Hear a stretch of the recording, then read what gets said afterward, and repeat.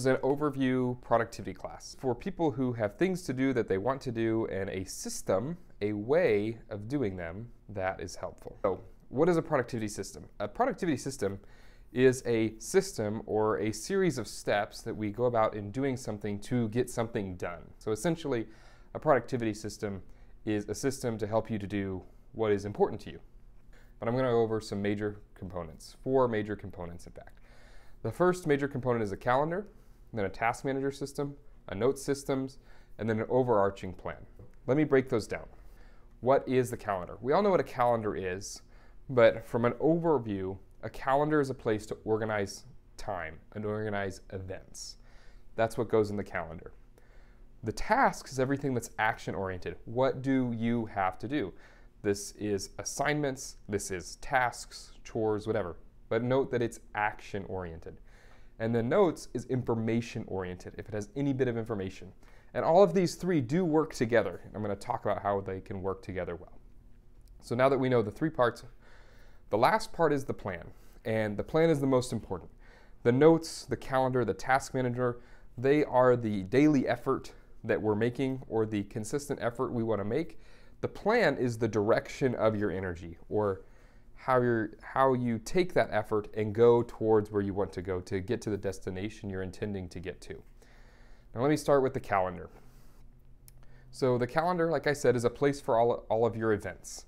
So, if you have an appointment, a meeting, a class, um, whatever it may be, but those are the most common ones, it goes in your calendar. And your calendar should be something on every day that you intend to get work done that you check. And I think you should at least check it at the beginning and the end of your day. And you can also look ahead. So, weekly, you should look ahead to the next week at the least. I'd say up to probably about two months ahead of time, you can look. And then if people ask you, hey, can you go do this thing? Pull it out on your phone. If it's a digital calendar, or even a paper one if you have it on you. Let me check my calendar, let me get back to you.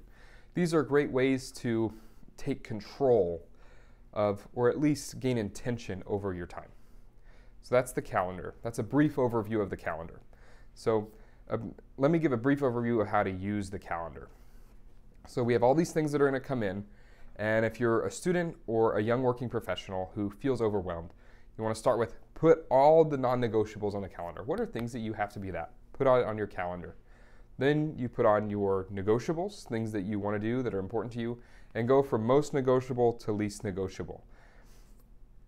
That's a, a, start to, and then as you're going through your day, stick to the calendar. Use your phone to set timers to start on time, to end on time.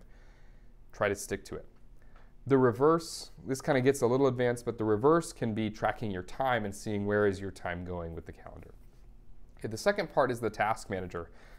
The, a task manager is a place where you, I, I think it's best to have one place for all of your tasks. And then you can organize them based on your role. But a, a task manager or a task list is all of the associated tasks.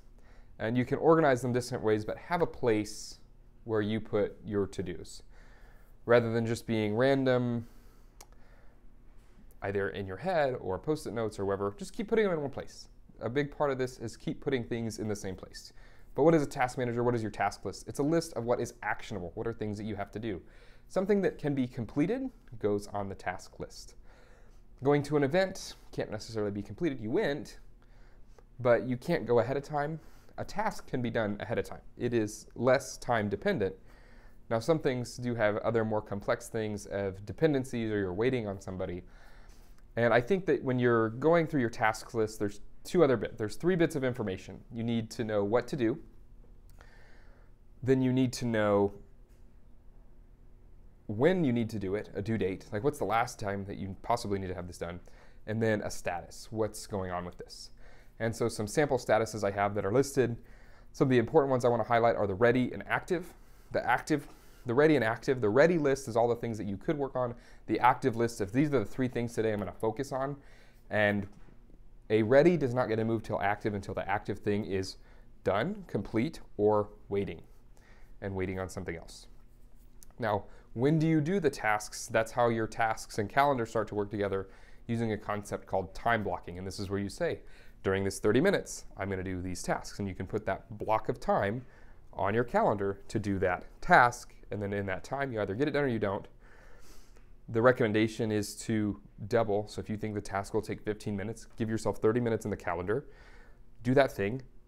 And I think I've been I've really experienced a lot of help in being completion oriented. Try to finish it.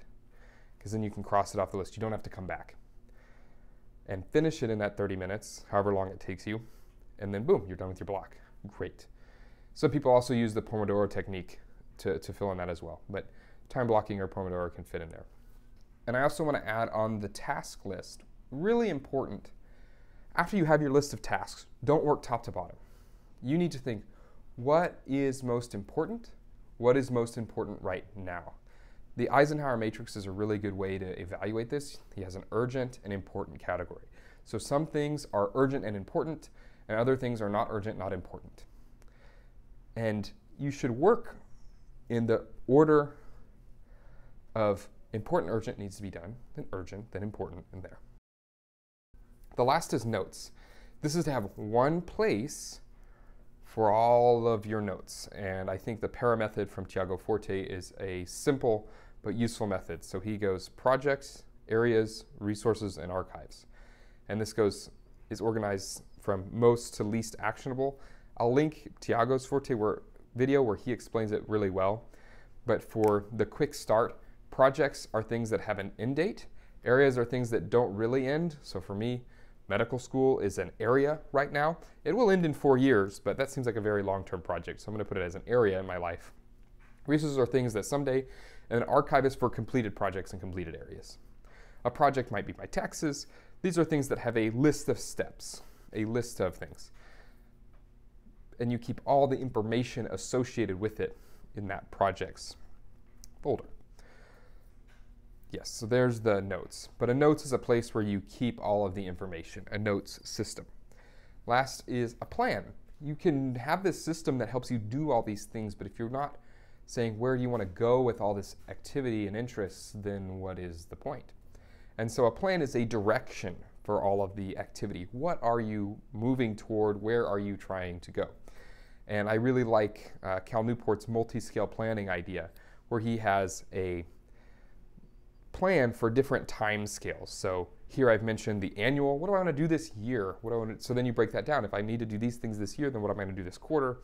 And then to get that done this quarter, what do I need to do this week? And you draft a week plan and you execute the week plan. And every week you're rewriting the week plan based on the quarter plan, which is informed by the year plan. And you can go into a, a, a life or a decade kind of epochs, sections of time, but that's how you group or chunk the time for the plan to move towards what's important to you. And I think the most important part of this is that that can change. Okay, so we've talked about all three parts and how they work together. We've talked about a calendar, that it's a place to organize your time. Use one calendar, put everything on one calendar. Have one task list, put everything on the task list. Check these daily, ideally at the beginning and the end of your workday. Feel free to recheck in at any time you need to, but when you want to get something done, have one place that you are looking to for this information of what do I need to do, and if everything is crossed off, I can know I have everything done. There's nothing, there's no ancillary things. And notes have that information in the same place. How does this work in the in an actual life in a uh, in an academic setting where you're in high school, where you're in college, or a graduate school setting, or whether you're a working adult and you're wanting to learn something? The general flow of information comes from this code algorithm, again from Tiago Forte. The, how, I have, how I think of it is capture, organize, distill, express. So capture, have an inbox, all these things get collected. And I like to collect them right where they need to go. So there's an event, it goes into my calendar. Then organize. Organizing is that productivity system. So in your capture, you are organizing. Or in like your notes, you might just have an inbox and then you organize from there into, oh, from my inbox, okay, every week I need to put into projects, areas, resources where this thing needs to go.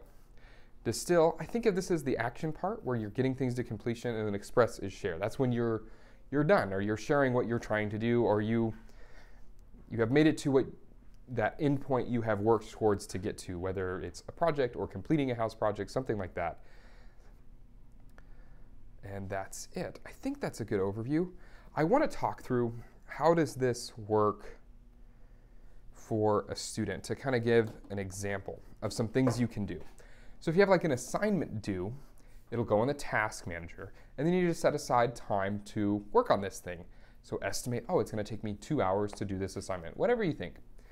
And you put that time in your calendar, and then when you go to work on it, or when you're even planning to work on it, I would really encourage you to ask yourself the question when am I done? What am I trying to do in this block of time? And finishing the homework can be really daunting to start, so then you want to chunk it down into smaller chunks until you have such a clear chunk, it's your brain is easy to understand what is the next step, and you only have to know the next step. You don't need to write down all 10 steps and then check them off in order. So work on the next step, and you can always think of the next step. So if you have to write a paper, oh, what do I need to do? I need to do research.